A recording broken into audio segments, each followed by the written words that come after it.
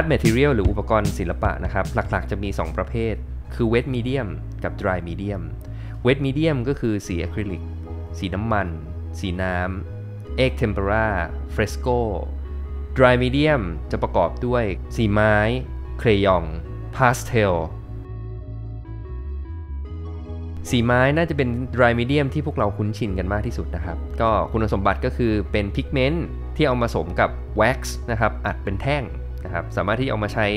drawing เอามาถูได้นะครับ บางชนิดสามารถที่จะเอามาประยุกต์เป็น wet medium ก็ได้ก็คือสีไม้ระบายน้ำครับ ต่อมาคือเครยอง เครยองก็คือสีเทียนที่เราใช้ตอนเด็กๆนะครับ ข้อดีของมันก็คืออเนื้อไส้ของสีเครยองเนี่ยมันนิ่มนะครับ มันเหมาะสำหรับเด็กๆ สามารถที่จะระบายได้ง่าย ไม่ปวดมือไม่ปวดแขนนะครับ สามารถที่จะ blend ได้ สามารถที่จะเกลี่ยให้เนื้อสีเนี่ยเรียบเนียนได้นะครับ สีพาสเทลจะมีลักษณะเป็นผงที่เอามาอัดเป็นแท่ง ศิลปินส่วนใหญ่ที่เอามาใช้ในการสเก็ตช์หรือในการสร้างสรรค์ผลงานก็คือเดอกาส์คุณสมบัติของสีพาสเทลก็คือ pigment จะแน่นมาก สามารถที่จะซ้อนทับกันได้หลาย layer ไม่เหมือนสีไม้ เพราะสีไม้เนี่ยคุณสมบัติของมันเป็นแว็กซ์เวลามันเคลือบไปบนผิวกระดาษแล้วเนี่ยการที่เราจะซ้อนอีกสีหนึ่งลงไปเนี่ยมันจะทำได้ยากขึ้น ผิดกับสีพาสเทล สีพาสเทลสามารถที่จะซ้อนสีได้เรื่อยๆ และสามารถทำความสะอาดได้ง่าย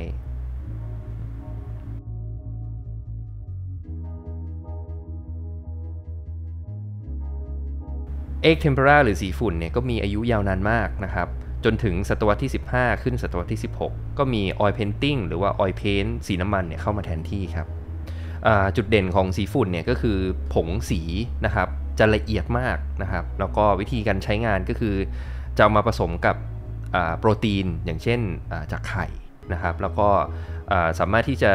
ใช้น้ำเนี่ยเป็นตัวทำละลายได้เล็กน้อย เพื่อทำให้สีมันใสขึ้นนะครับ หรือลดตัวทำละลายลงใช้โปรตีนให้มากขึ้นก็คือใช้ไข่เนี่ยเยอะขึ้น เพื่อทำให้สีมันข้นหนืด เราจะพบงาน painting ที่ใช้ tempera เนี่ยนะครับในพระคัมภีร์แล้วก็ในงานเชิงศาสนาเป็นส่วนมาก ในจิตรกรรมฝาผนังในโบสถ์วิหารต่าง จิตรกรรมฝาผนังในประเทศไทย แล้วก็ในเอเชียตะวันออกเฉียงใต้นะครับ ส่วนใหญ่ก็มักจะใช้วิธีการคล้ายๆกันนะครับ ก็คือใช้ tempera เสียส่วนมากนะครับ เพราะว่าในยุคสมัยก่อนเนี่ยการหาวัสดุอุปกรณ์จริงๆปัญหาได้ ค่อนข้างยากนะครับ ก็พยายามหาใช้วัสดุที่มีอยู่ในครัวเรือนง่ายๆนะครับ ผงสีก็อาจจะมาจากดิน จากแร่ที่เขาไปร่อน ที่เขาไปกรอง ที่เขาไปทำกระบวนการพวกนี้มานะครับ ใช้ผู้กันที่เรียกว่าผู้กันหนวดหนูเนี่ยนะครับ ก็เอามาตัดเส้นนะครับ ลงพื้นที่ใหญ่ ๆ ด้วยผู้กันใหญ่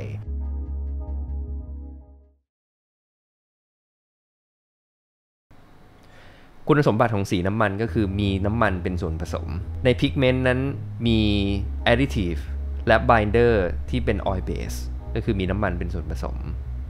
oil painting เนี่ยมันก็มี medium หลายตัวนะครับ paint ก็ painting ได้หลายแบบผสมตัวทำละลายหรือ solvent อย่างเช่น น้ำมันสนหรือ turpentine ทำให้เนื้อสีบางขึ้นได้ สามารถที่จะ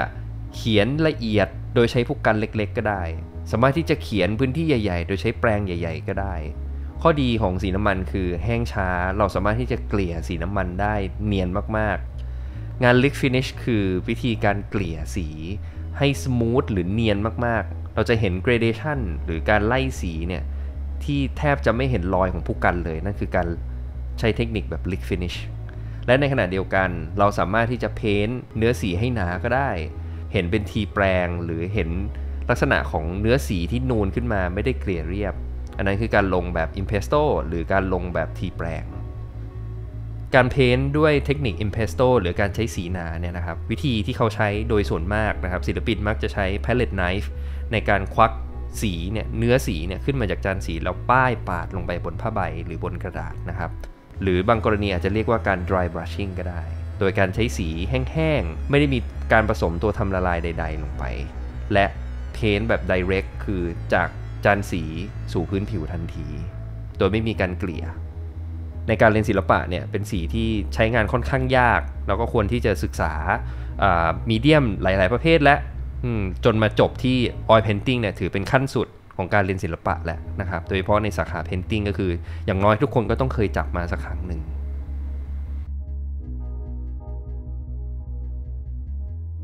oil painting หรืองาน painting สีน้ำมันเนี่ยนะครับ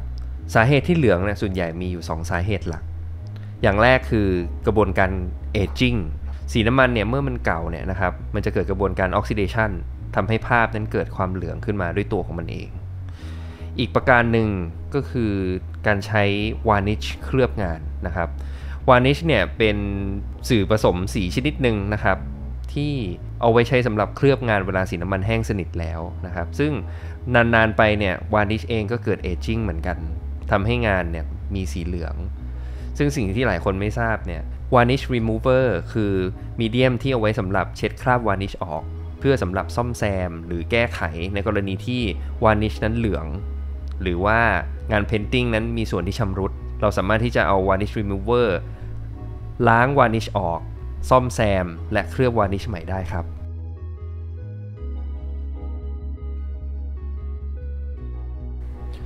fresco ถ้า จากในตำราที่เราเคยเรียนนะครับ fresco ก็คือการเขียนด้วยเทคนิคแบบเหมือนปูนเปียกนะครับวิธีก็คือเขาจะเอาปูนเนี่ยนะครับที่ผสมน้ำผสมสูตรผสมทุกอย่างเรียบร้อยแล้วเนี่ยนะครับป้ายลงไปบนพื้นผิวที่ต้องการจะวาด เสร็จแล้วเกลี่ยให้เรียบนะครับ แล้วก็ใช้คล้ายๆเหมือนเป็นกระดาษร่างเนี่ยนะครับทาบแล้วก็ลอกลายด้วยกันใช้ลูกประครบนะครับที่เจาะรูผ้าไปเรียบร้อยเนี่ยเอาไปประครบนะครับ ด้วยผงคาร์บอนนะครับ หรือผงแป้งหรือผงฝุ่นเนี่ยมันก็ได้ทะลุตรงที่เราเจาะฉลุลายไว้เนี่ยนะครับ ก็จะไปปรากฏบนผิว fresco เนาะหน้าที่ของศิลปินและลูกมือคือจะเอาสีเนี่ยนะครับ paint ลงไป direct เลยตรงๆนะครับ ลงบนพื้นผิวที่สร้างไว้แล้ว ซึ่งจุดเด่นของ fresco เนี่ยคือสีหรือ pigment เนี่ยจะซึมเข้าไปในเนื้อของปูนนะครับ จะทำให้ภาพเนี่ยอยู่ได้นานมากนะครับ เพราะโดยทั่วไปแล้วเนี่ยปกติเวลาเราทำ painting เนี่ยนะครับงานจิตรกรรมหรืองาน painting เนี่ยมันคือการเอาสีไปทับลงบนพื้นผิว เป็น layer ที่อยู่ด้านหน้า มันคือวัสดุที่ปกปิดผิว แต่จุดเด่นของ fresco คือสีซึมลงไปในพื้นผิวเลยนะครับ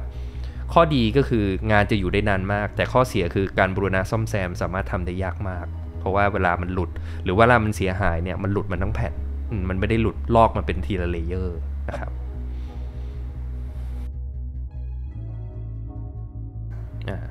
สีน้ำเนี่ยหลักๆก็คือส่วนผสมหลักก็คือกัมอาราบิก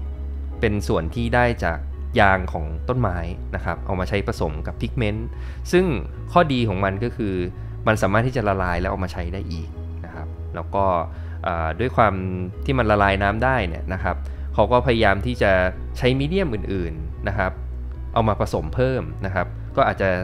แตกออกมาเป็นน้ำผึ้ง ก็สามารถที่เอามาใช้ได้นะครับ Honey Base ก็ข้อดีของมันคือมันจะละลายน้ำได้ดีกว่ากัมมาลาบิกอีกนะครับแต่ข้อเสียคือราคาค่อนข้างแพง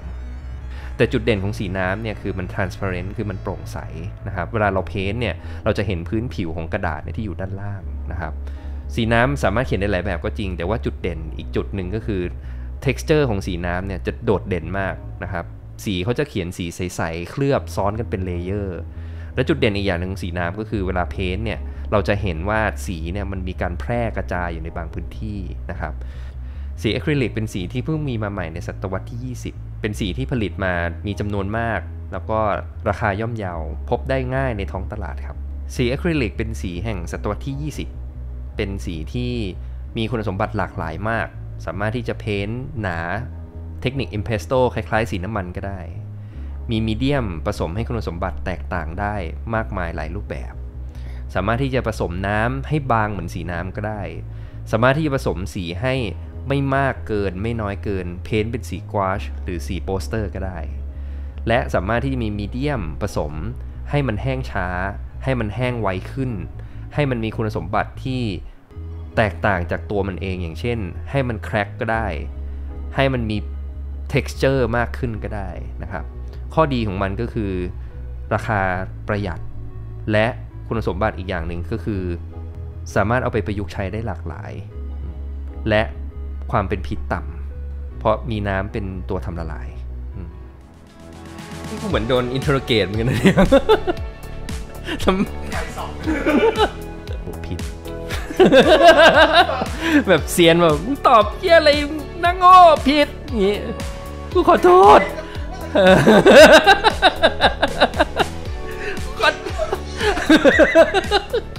ขอโทษ